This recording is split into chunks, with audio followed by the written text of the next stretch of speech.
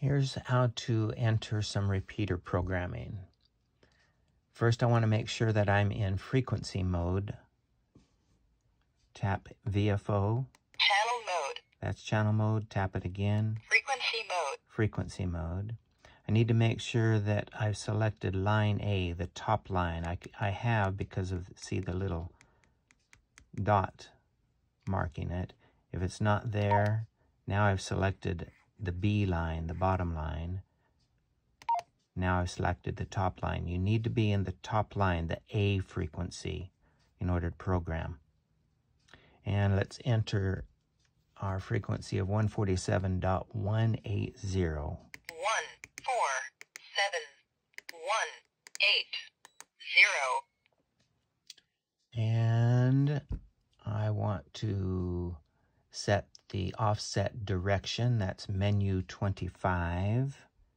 Menu. Frequency direction.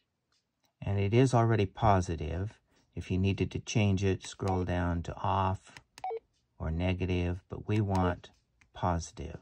Now confirm with menu Confirm. and exit. Um, next will be the offset value, which needs to be 0.6, and that is menu uh, option number 26.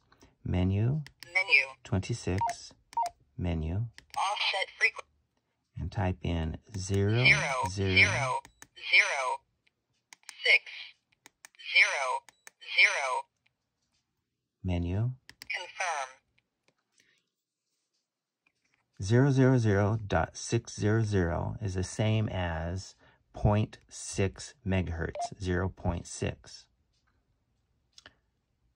Do that one more time. We're going to go to set the offset value of 0.6. That's menu item 26. Menu. Menu Offset frequency. and type in 0, Zero, 0, zero, zero, 6. zero, zero. Tap menu to confirm. Confirm. and exit. The next step is the tone, and that is menu item 12. And we're going to have a tone of 110.9. So menu item 12, Menu. menu to confirm. DCS. We don't want DCS. We want to go to, oops, exit. Menu 13, Menu. menu. CTCS.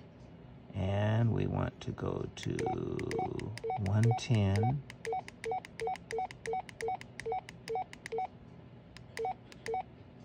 Point nine. Menu to confirm Confirm. and exit. And we're done. We have the frequency set.